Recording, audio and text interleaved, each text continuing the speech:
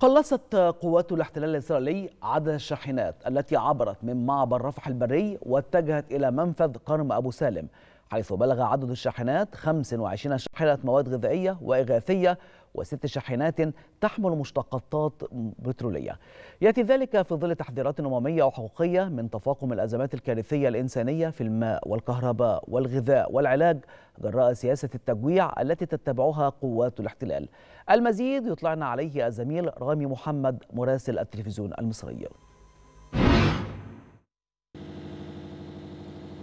بعد تحية في هذه المتابعة لتداعيات الحرب الإسرائيلية على قطاع غزة نرصد مشهد المساعدات الإنسانية من أمام معبر رفح البري حيث استقبل المعبر على مدار اليوم 25 شاحنة مواد غذائية وإغاثية خاصة بالمساعدات الإنسانية وست شاحنات تحمل مشتقات بترولية اتجهت من معبر رفح البري على الطرق المؤدية إلى معبر كرم أبو سالم ومن ثم تسليم هذه الشاحنات إلى أو مجمل ما في هذه الشاحنات إلى قوات الاحتلال الإسرائيلي ومن ثم تدخل إلى قطاع غزة.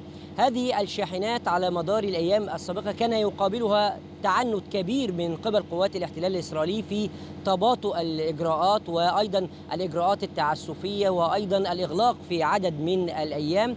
أما إذا تحدثنا عن المنظمات الحقوقية والأممية التي تحدثت عن تفاقم وتردي الأوضاع الإنسانية والمعيشية داخل قطاع غزة وهناك الناطق باسم منظمة الأمم المتحدة للطفولة اليونيسيف الذي تحدث أن أكثر من 90% من أطفال غزة هم المتضررون من هذه الحرب من تفاقم الأوضاع الإنسانية والمعيشية وأيضا نقص المياه والغذاء والكهرباء. وأيضا هناك عدد كبير من هؤلاء الأطفال يحتاجون للعلاج خارج القطاع ويحتاجون إلى المزيد من المساعدات الإنسانية.